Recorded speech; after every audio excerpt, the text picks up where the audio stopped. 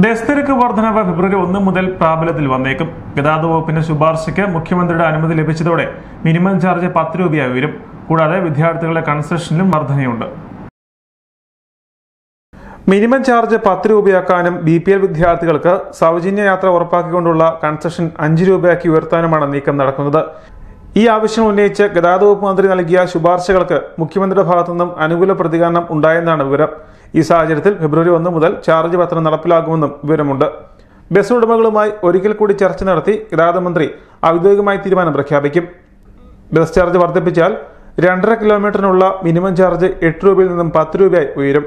Minimum charge പന്ത്രണ്ട് രൂപയാക്കണമെന്നാണ് bus ഉടമകൾ ആവശ്യപ്പെട്ടിരുന്നത്. എന്നാൽ സർക്കാർ ഇത് അംഗീകരിച്ചേക്കില്ല. പകരം രാത്രി യാത്രയ്ക്ക് പ്രത്യേക നിരക്ക് വന്നേക്കും.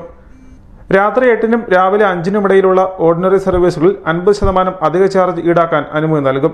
വിദ്യാർത്ഥികൾക്ക് നിലവിൽ ഒന്നര കിലോമീറ്ററിന് ഒരു രൂപയും അഞ്ച് കിലോമീറ്ററിന് രണ്ട് രൂപയാണ് കൺസെഷൻ. ഇതുയർത്തി ചാർജ് അഞ്ച് രൂപയാക്കാനാണ് തീരുമാനം. മഞ്ഞ റേഷൻ കാർഡുള്ള ബി പി എൽ കുടുംബങ്ങളിലെ വിദ്യാർത്ഥികൾക്ക് സൗജന്യ യാത്ര തുടരുമെന്നും നിർദ്ദേശമുണ്ട്. Star vision news Kottayam.